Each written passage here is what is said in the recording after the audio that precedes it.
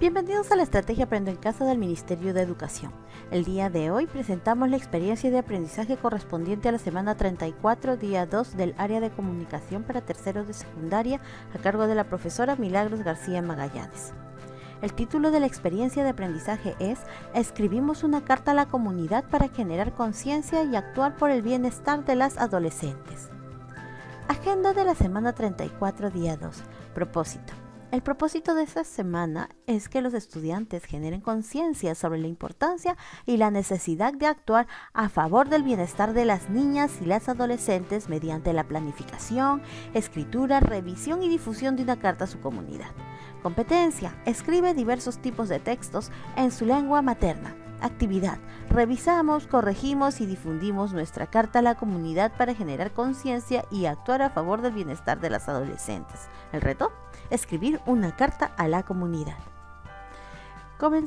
continuando con la estrategia de la semana 34, comenzamos con la revisión de la carta a la comunidad. A continuación, revisa, corrige y publica tu texto. En la actividad anterior, Generaste ideas, las organizaste, definiste la estructura que requerías para tu carta y también la textualizaste, la escribiste, por lo que ya tienes el borrador de tu carta a la comunidad. Entonces, lo que corresponde ahora es revisar, corregir y volver a escribir.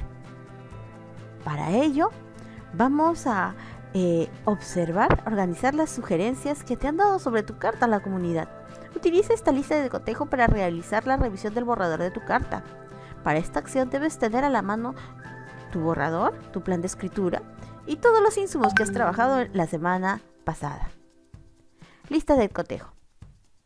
Vamos a comenzar eh, respondiendo, marcando con una X, sí o no. Primera pregunta, primer criterio. Responde tu carta, responde al propósito planteado en la planificación. Las ideas centrales de tu carta presentan la necesidad y la importancia de actuar a favor del bienestar de las adolescentes. El lenguaje utilizado se adecua a los destinatarios. Las ideas se presentan con cohesión y coherencia. Tu carta presenta la problemática sobre la cual te vas a pronunciar y tu postura con respecto de ella. Los argumentos que presentan sustentan tu postura. La conclusión invita a la reflexión y moviliza a tomar decisiones. ¿Revisaste el uso adecuado de los recursos ortográficos? Si en alguno de estos criterios has marcado, ¿no? Esto te va a servir para que puedas corregir tu texto y escribir la versión final de tu carta. Haz llegar tu carta a tus vecinos a través de los diferentes medios que tengas a tu alcance. También puedes presentarla a tu familia. Recuerda mandarle una evidencia a tu profesor. A continuación, y antes de terminar, vas a evaluar los aprendizajes de estas dos semanas de trabajo. Primera pregunta. ¿Te fue útil leer sobre las y los adolescentes con respecto a la actividad física y el tiempo libre? ¿Qué consideras importante?